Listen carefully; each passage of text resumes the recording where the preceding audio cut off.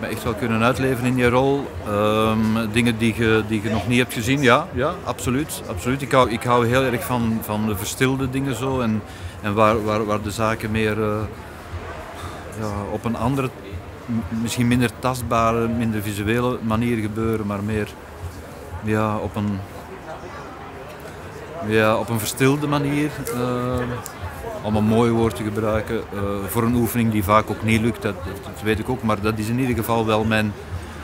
Dat is in ieder geval wel mijn. Uh, dat hoop ik in ieder geval altijd te kunnen doen. En in deze film, onder andere in deze film, zijn er heel veel, heel veel nootjes die ik op mijn zang mag hebben. En ik kan heel, ik kan heel veel muziekjes maken, dus heel veel melodietjes laten zien. En dat, dat is ook fijn om te doen natuurlijk.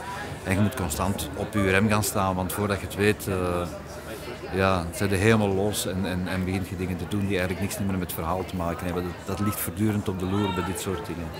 Maar dat hebben we goed in de hand kunnen houden. Maar ja, er zit heel veel plezier in de film ook. Heel veel plezier met Titus ook. Heel veel plezier met Mariano, met, met, met Joffrey.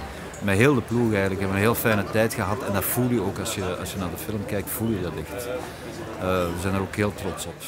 Alles over de Belgische cinema op cinevox.be